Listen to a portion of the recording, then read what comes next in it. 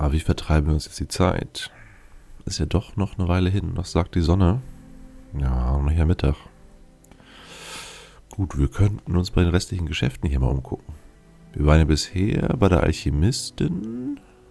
Bei dem Ausstatter waren wir auch schon. Auf dem Marktplatz waren wir bei dem Kajit. Bei dem Rüstungshändler. Da waren aber noch zwei andere Läden, oder? Genau, hier war einer. Dorisa Davel, Buchhändlerin. Hm. Jo, definitiv viele Bücher und eine Wache direkt im Laden. Das ist ja auch ungewöhnlich. Also, für einen Buchhändler. Hm, müssen recht wertvolle Bücher sein. Gucken wir mal, was sie so im Angebot hat. Ich grüße euch, Bürger. Ich bin Dorisa Davel. Willkommen bei Mora. Mhm.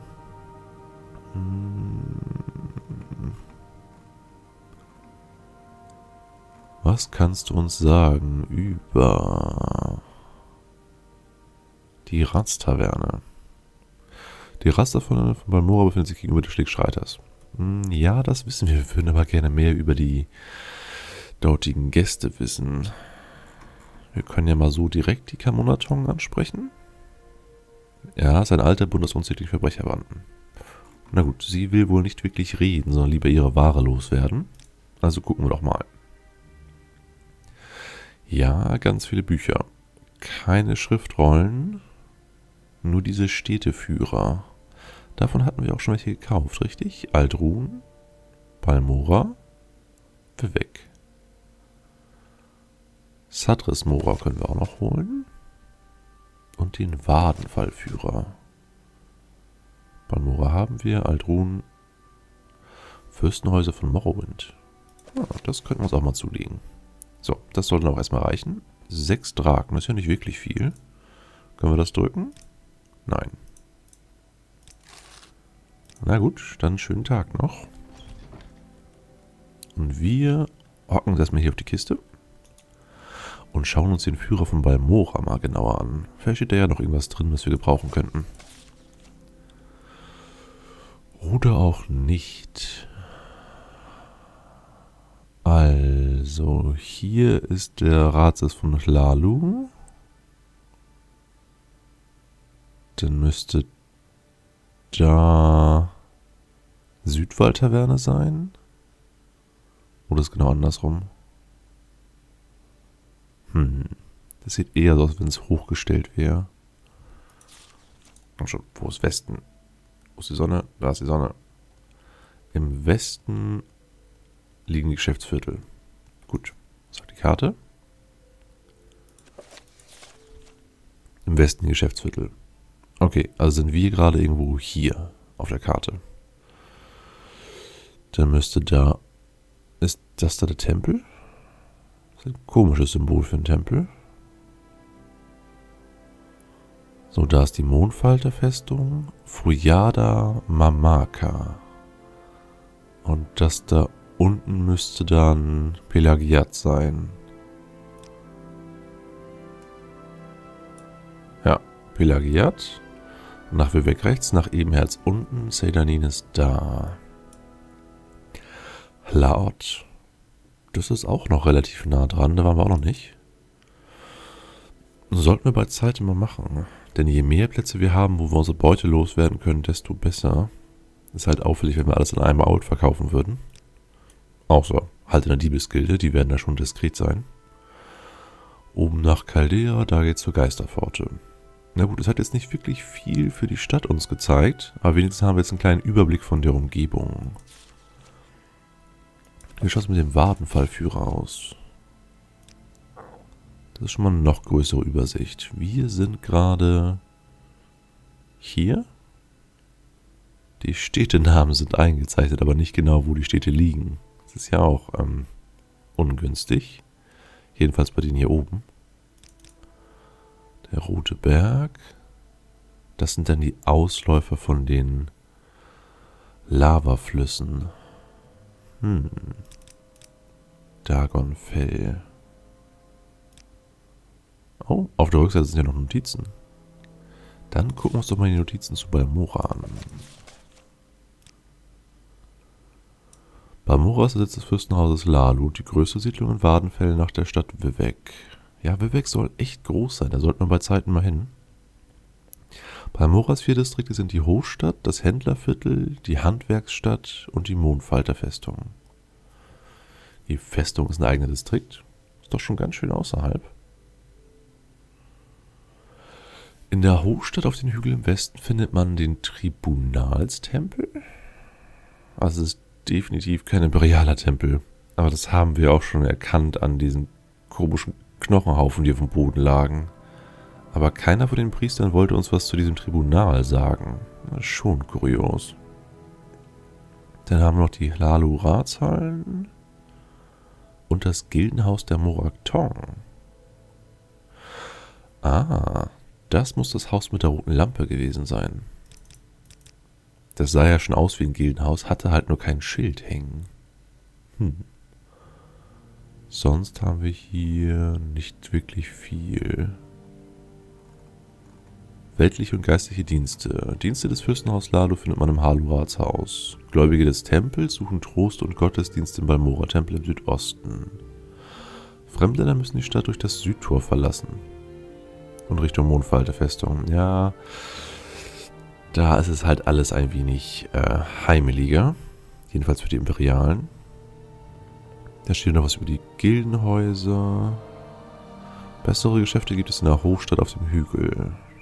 Da haben wir auch unsere Kleidung her, sowie ein, zwei Tränke vom Alchemisten. Und die Diamanten. So, bedeutende Person. Keiner der Lalu-Ratsherren lebt in Balmora. Das ist doch irgendwie komisch, wenn es die zweitgrößte Stadt sein soll. Hier werden jetzt die wichtigen Personen aufgelistet.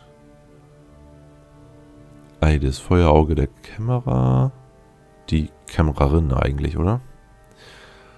Äh, Magiergilde interessiert uns nicht. Kämmerer der Moraktong. Itasi Rilvain. Die Moraktong ist wieder was anderes. Also die Kamonatong war ja die örtliche Diebesgilde. Und was ist dann die Moraktong? Sollten wir uns auch mal umhören.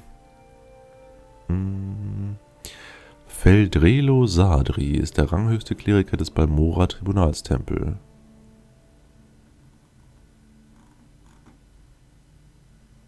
Was haben wir hier noch? Wildnis führt südwestlich am Modai entlang zum Fischerdorf La Laorat. Das haben wir auf der Karte ja gesehen. Ein Fischerdorf. Na gut, das dürfte für uns nicht so wirklich interessant sein. Nördlich nach Caldera und Aldrun. Ein nicht ausgebauter Pfad führt nordöstlich über die Schluchten der Fajuda Mamea zur Geisterpforte. Dem Pfad kann man leicht folgen. Jedoch werden die Pilger, die diesen Weg zum Schrein der Geisterpforte nehmen, häufig von gefährlichen Tieren angegriffen. Ja, nee, das äh, wollen wir nicht. Also gut, nicht wirklich viel Neues Interessantes, außer vielleicht diese Muraktong. Da gehen wir doch einfach mal hin. Denn wir sollten schon mehr über die örtlichen Gilden wissen, wenn wir hier langfristig bleiben wollen. Oder eher müssen. Hm? Aber na gut, das müsste da hier gewesen sein. Hier war das Ratshaus. Sprecht. Und das sah aus wie ein Gildenhaus. Und hier kommt auch der rote Schein her. So, Du kannst uns doch bestimmt noch etwas über deine Gilde erzählen. Ich bin Angeran und das ist Balmora. Mhm. Moraktong will sie nicht drüber reden. Was ist denn dein Beruf? Ich bin eine Assassine. Mein Beruf ist das Töten. Sauber, diskret und zuverlässig. Guten Tag. Ich werde beobachtet. Ich spüre es. Es ist eine komische Gilde.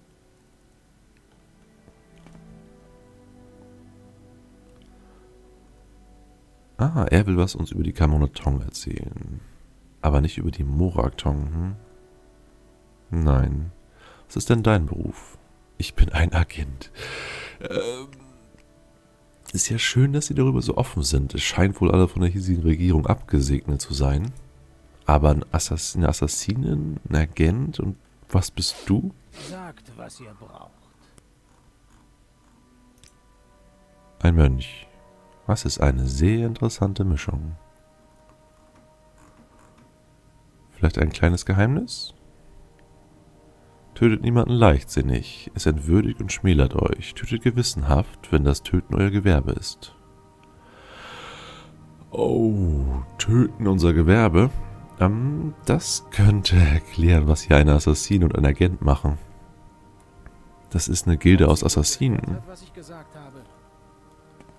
Hm.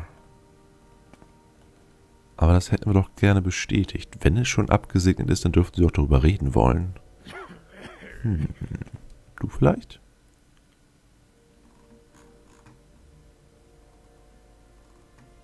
Nee. Was kannst du uns sagen über deinen Beruf? Assassine. Ja, definitiv eine Gilde aus Assassinen. Was für Regeln willst du uns erzählen? Die Morak Tong vollstreckt Erlasse und erfüllt besondere Aufgaben auf Anordnung der regierenden Häuser. Gildenangehörige schädigen oder bestehlen jemanden. Davon ausgenommen sind nur Personen, gegen die ein Erlass zur Hinrichtung ausgesprochen wurde. Enthüllt niemals unsere Geheimnisse oder Identitäten. Wenn ihr eine dieser Regeln brecht, müsst ihr unverzüglich mit einem Meister sprechen, um euren guten Ruf wiederherzustellen, oder ihr könnt selbst das Ziel einer Exekution werden. Ü. Ähm, okay. Das ist noch ein wenig außerhalb von unserer Liga. Und anscheinend wollen die hier eh keine neuen Bewerber haben. Denn erstmal redet keiner wirklich offen über die Gilde, außer er hier jetzt. Und schon gar keiner darüber, dass sie neue Leute suchen. Also gut, dann äh, verabschieden wir uns hier mal am besten.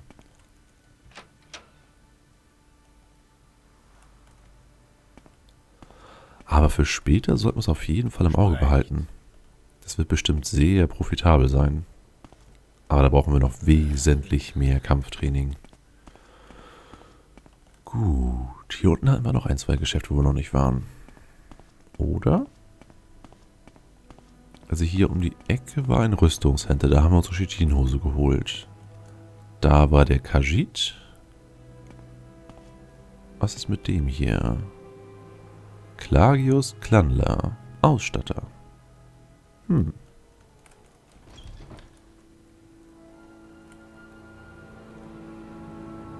Seid gegrüßt, ich bin Klagius Klangler. Was verkaufst du denn so Schönes? Ein paar ranzige Heiltränke, Gemischtwaren, Schüsseln. Nichts wirklich Interessantes. Und wir haben auch nicht wirklich viel zum Verkaufen. Nee. Dann äh, verabschieden wir uns gleich mal wieder. Außer du kannst uns vielleicht über die Moaktong etwas sagen? Nee, kann hier keiner. Oh. Wir könnten zu Kaios Gosades gehen und ihn fragen. Ich meine, er hatte uns ja schon angefangen aufzuklären über die hiesigen Gilden. Und wir dürften mehr als genug Zeit noch haben. Also ja, das klingt nach einem guten Plan. Unter Sonne und Himmel. Unsere wärmsten Grüße. Auch wenn wir jetzt schon wieder das letzte Gebäude übersehen haben. Da hinten war nämlich auch noch ein Händler. Da müssen wir bei Zeit noch mal reingucken. Aber momentan haben wir eh nichts zu verkaufen, das passt dann schon. Auch wenn ich denke, dass er nur bestätigen wird, dass es eine Gilde aus Assassinen ist und wir uns von denen fernhalten sollen, aber hm. Schaden kann es ja nicht.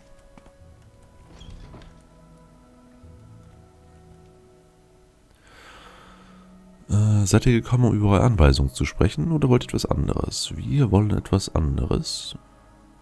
Wir würden eigentlich gerne etwas über den Boak Tong wissen, aber er kann uns nichts Neues sagen. Das ist schade. Über den Tempel vielleicht? Oh, das ist auch eine wichtige Information. Der Tribunalstempel ist die ursprüngliche Religion. Er verehrt drei Gottkönige, Almalexia, Susasil und Vivek. Wie die Stadt? Hm. Die man zusammen als das Tribunal bezeichnet. Wir sprechen meistens einfach nur vom Tempel. Sie sind engstirnig und abergläubisch, aber vieles gefällt mir auch, vor allem ihre Dienste an den Armen. Sie lassen auch Fremdländer beitreten, was aber nur wenige tun, höchstens wegen der Dienste. Wenn ihr beitreten wollt, solltet ihr euch mit Feldrelo Sadri reden. Den haben wir auch im Balmora Führer erwähnt bekommen. Das soll wohl der höchste Priester hier sein. Ja, also das ist schon mal interessant, dass wir jetzt genau wissen, worum es bei diesem Tempel geht. Auch wenn das nicht unbedingt erklärt, warum da Knochen auf dem Boden liegen. Noch irgendetwas über die anderen Gilden vielleicht? Nö. Schade. Na gut, dann werden wir uns anderweitig umhören müssen.